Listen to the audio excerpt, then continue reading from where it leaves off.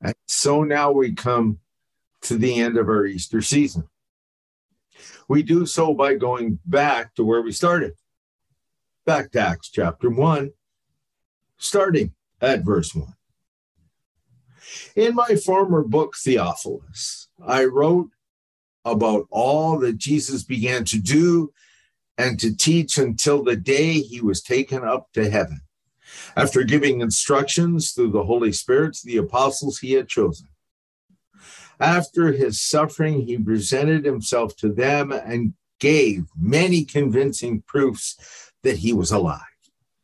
He appeared to them over a period of 40 days and spoke about the kingdom of God. On one occasion, while he was eating with them, he gave this command Do not leave Jerusalem, but wait for the gift my father promised, which you have heard me speak about.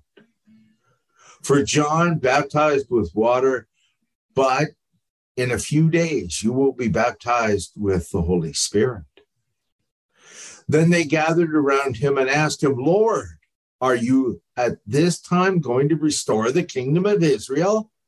And he said to them, It is not for you to know the day, times or dates the Father has set by his own authority, but you will receive power when the Holy Spirit comes on you and you will be my witnesses in Jerusalem and in all uh, in all Judea and Samaria and to the ends of the earth.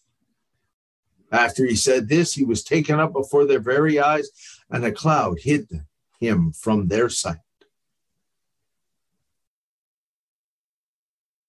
Gone. Gone. Gone, gone, gone. That's it. No more. You've had me hanging around here and hanging around there and being with you and being with you and being with you. Time I left. Because we know what happens in John 17, where Jesus says, I have to leave. Jesus has to leave so that the Holy Spirit can walk in. Because if the Holy Spirit doesn't walk in, they're not going to get it. They're not going to give it. The folks aren't going to get it. And the witness and the mission of the church will not go forward. So he sums, he starts the book of Acts by summing up his gospel, does Luke. And that's why we always end here because it's ascension. Now, Ascension is one of those funny holidays where it's a holiday that's not a holiday. In many countries across the globe, it's a, an official holiday holiday. It's a day off. Not here. Matter of fact, we don't even take a holiday around the day of Pentecost. Not here. What is important is this this is the end of the beginning and the beginning of something else entirely. Now we're headed into the season that will mark all of this mission that will go on and on and on and on and on. Because you'll notice that it is set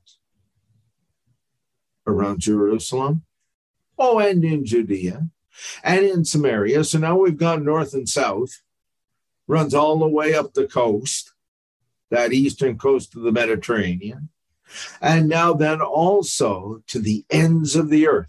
Now, the definition of that wasn't very big geographically, not according to the Roman Empire, because the ends of the earth stretched from the middle of what we call Great Great Great Britain right now, the, the Scots border.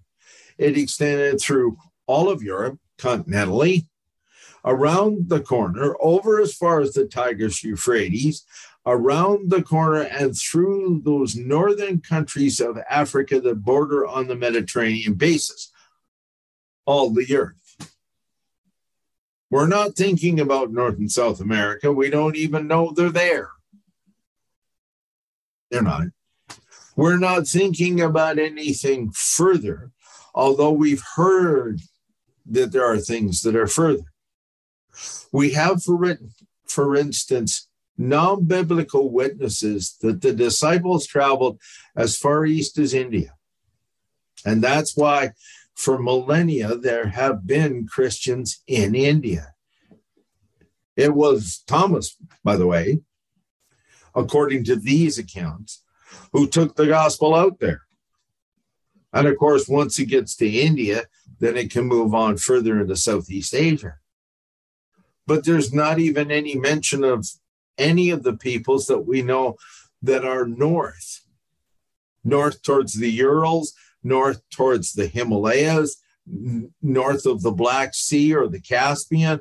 There's no mention of that country. That's way back over there, kind of like that mountain you see in the background. It's away over there. That mountain could be about a half hour hike, or it could be more like three to five days. You can't tell. But here we start to expand the ministry and we keep on expanding it.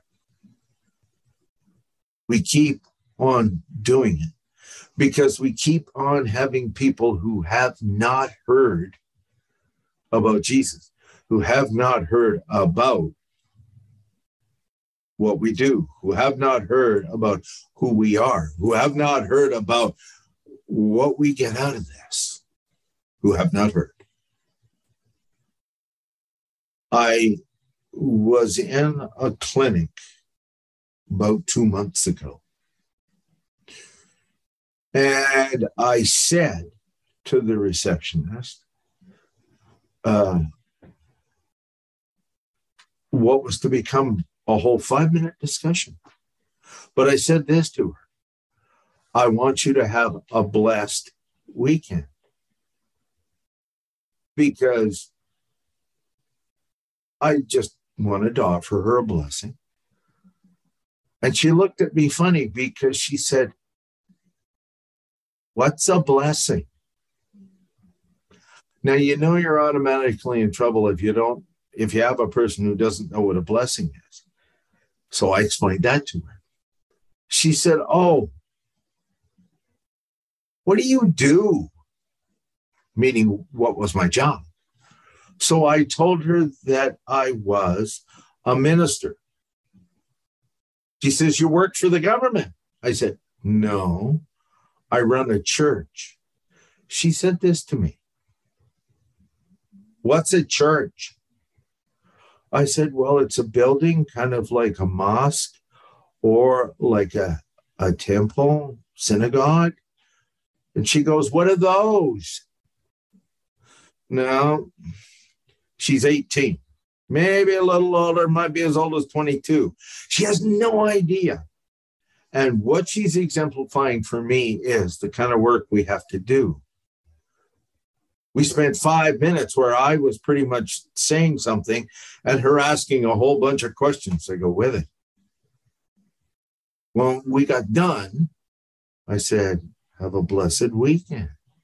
She said, You betcha. And she said, Come back anytime. So, in other words, her soul was open for me to explain to her this concept that we call faith, religion, and what all that means. Obviously, a person who's very much oriented towards what's going on only in my life and not in anything else whatsoever is also being raised, I would think, in a family that has very little social interaction that way, where we only stay with a certain crew of people who are at a certain socioeconomic level and travel in certain places regularly at certain times that, you know, the whole drill. Like, in other words, she's never been out of her nice, tidy little life. She's never had it pushed, never had it challenged, never known any kind of hardship. The Lord will fix that. Because life will fix that. Life does that to us. Now, hopefully, all that happens is we're going down the road of life like these guys were, and you hit a little speed bump. These guys are not in for a little speed bump. What they're going to get is they're going to get, we're doing highway speed. And I mean, like headed for Jasper or headed for Calgary highway speed. They're going to come around a corner and they're going to hit a major speed bump. And it's going to take off in a whole different direction they have no idea about. That's where we're headed next. And there's all kinds of amazing things that come out of that. Most of which is, and we return to a whole series of examples through this summer about Jesus and how he's doing the work of ministry in all these different situations. So it helps us be informed about how to, to do the job. And that's where we're headed next because it has been nothing but surprise, surprise, surprise, surprise, surprise so far. This is the second biggest surprise they're going to get at this point. Now, you'll notice that Ascension is exactly 40 days after Easter. Just like Lent starts 40 days right before Easter. And if you think those 40s are important, yeah, I've got another sermon for you about 40, but never mind. We'll leave that for another day. Pentecost, also by the very definition of it, is 50 days after Easter. We call it Pentecost because penta is the Latin word for five. And 50 days after Easter, God shows up in a huge way. And we'll start there in our next series. Let's pray. We give you thanks, Lord, that you enter and enter and enter and re enter again and again in our lives.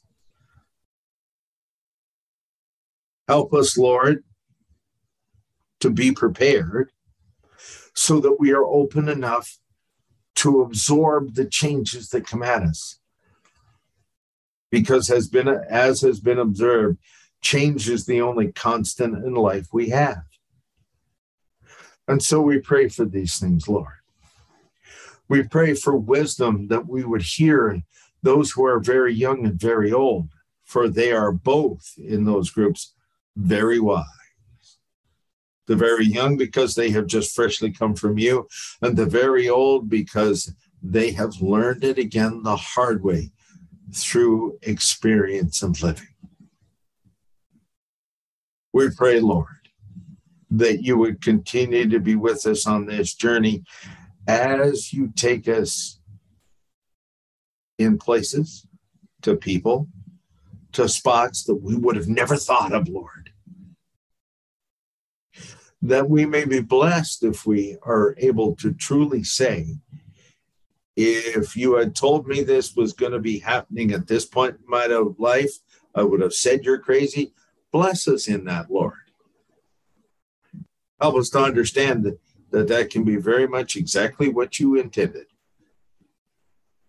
Guide and direct us, Lord, so that we can work together through this summer. Give us rest and room to breathe so that our spirits expand and we grow. And we ask us, Lord, to be prepared for the flame and the fire of your Holy Spirit that will show up next week. Because in that power, in that urgency, we have our place in you. All these things we ask now through your Son, He who is Jesus Christ, our Lord and Savior and so we close our prayers with the prayer he told us to pray daily Our Father, who art in heaven, hallowed be thy name. Thy kingdom come, thy will be done on earth as it is in heaven. Give us this day our daily bread, and forgive us our trespasses, as we forgive those who trespass against us. And lead us not into temptation, but deliver us from evil.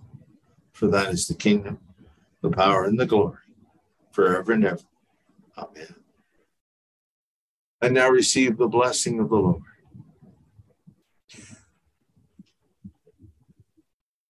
May the fire of the Holy Spirit, the wind and flame of life, may the power of Almighty God rest upon you and bless you this day and this week.